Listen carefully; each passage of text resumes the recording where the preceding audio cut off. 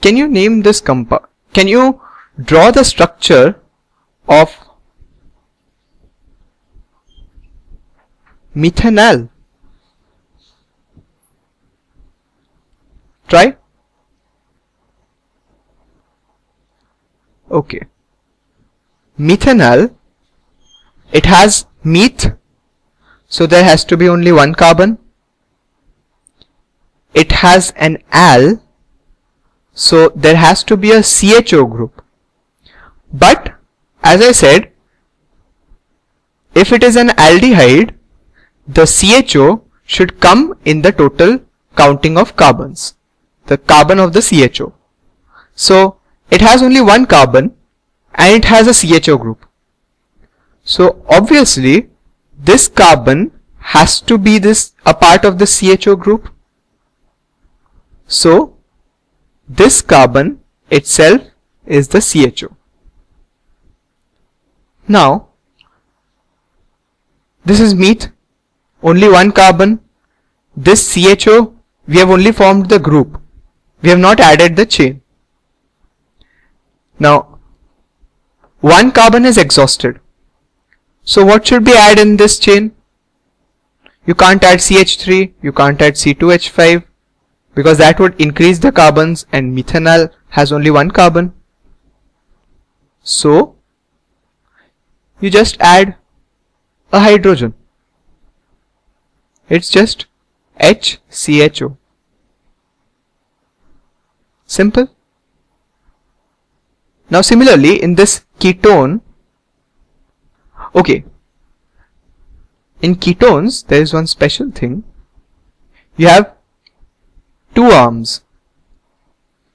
So there could be a CH3 over here. There could be C2H5 over here. You know these CH3, C2H5 are the groups which attach to this functional group and make the total compound. They're just, I mean, instead of hydrogen, you, instead of this CH4, you remove a hydrogen and make it CH3. C2H6, you make it C2H5 and a bond. C3H7, you make this C3H, so, sorry, C3H8, you make this C3H7 in a bond. So, you can just attach these to the functional group if you want. So I attached a CH3 over here and a C2H5 over here. So now what will be the name of this compound? 1, 2, 3 and you have to count this carbon as well. So total 4 carbons. So it's but, butane but there is a CO group so CO, there is a suffix.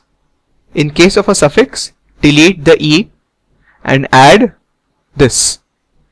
So this becomes butanone.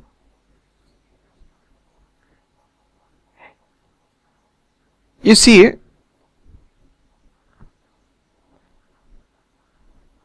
if this is H, then it automatically becomes an aldehyde.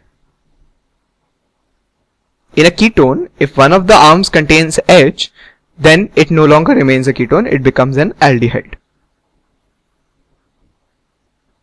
And if we have another H, this aldehyde is called methanal. So methanal is an aldehyde and aldehyde is a a special case of ketone you can say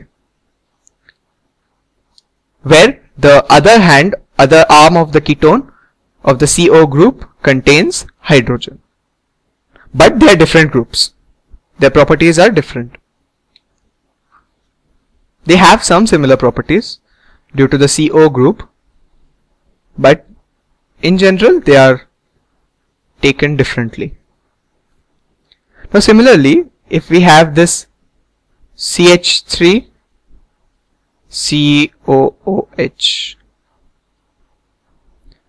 so two carbons ethane COOH group. Acid. So it has a suffix. Delete this E and add the suffix. So it's ethanoic acid. And this is also called your acetic acid. But acetic acid is not the IUPAC name this is the IUPAC name so when you are asked to write IUPAC names don't write this acetic acid. It is wrong. Always write ethanoic acid. And if you are asked to write the common name of this structure then write acetic acid. Because this ethanoic acid is not the common name. Acetic acid is the common name for CH3COOH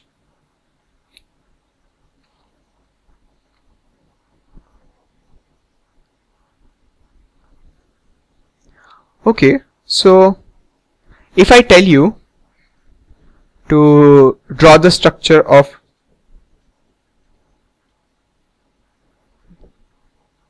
methanoic acid. Now what will you do? See again it is meth so only one carbon.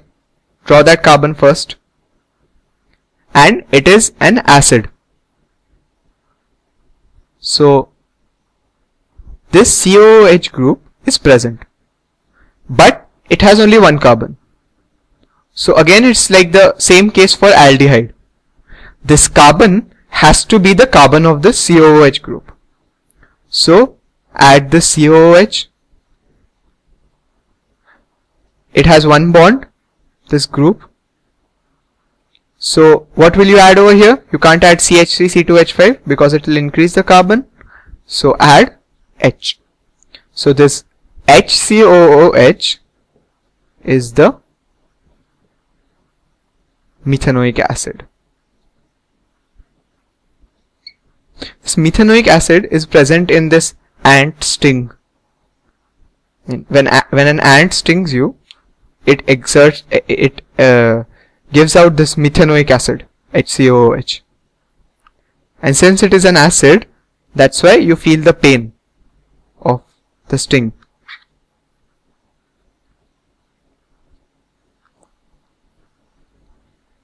Okay, so this is the